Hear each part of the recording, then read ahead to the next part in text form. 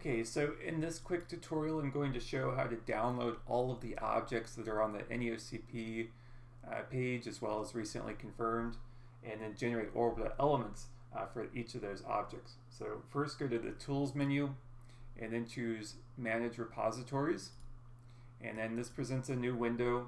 So what you want to do is go to the Action menu and choose Download NEOCP slash recently confirmed.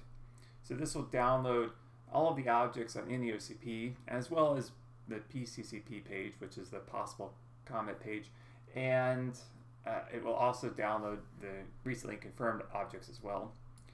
So uh, if you only care about the NEOCP objects, then you can just click abort at this point in time. Uh, otherwise, you can let it proceed. So uh, for this, this tutorial, just go ahead and let it finish up here.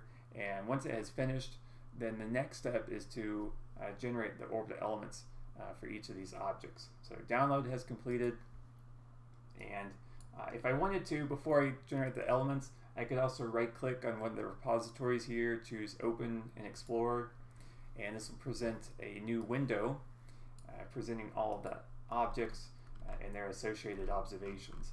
So for example, I could click on one here and do an edit so this will show all the observations, all the measurements for that object so far.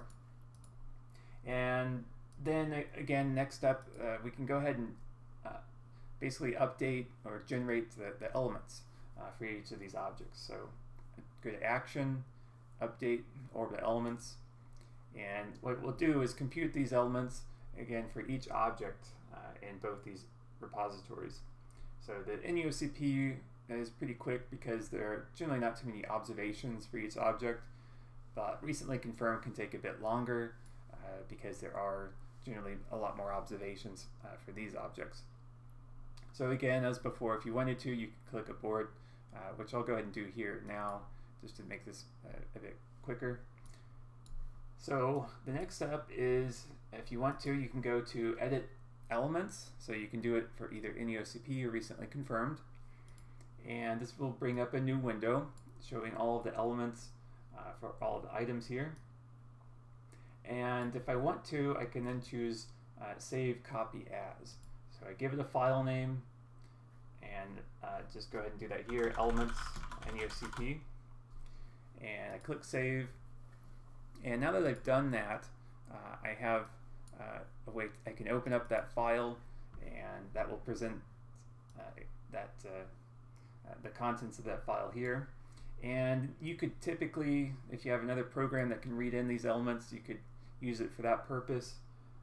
So that's, that's kind of nice. Uh, one caveat here though is that this, uh, if you happen to have a comet with high eccentricity, then uh, that has to be stored in a different format because uh, those kinds of objects, uh, they, they have different set of orbit elements associated with them. And as a result, uh, again, they have a different format, so uh, you cannot store them in the same file.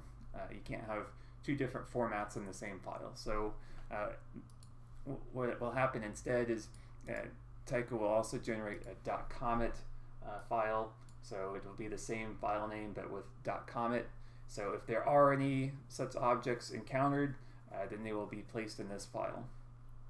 But uh, for the vast majority of objects, this will work without any uh, issue here, just uh, that they should be found in this file. So anyway, that's it for this tutorial. Thank you for watching and see you next time.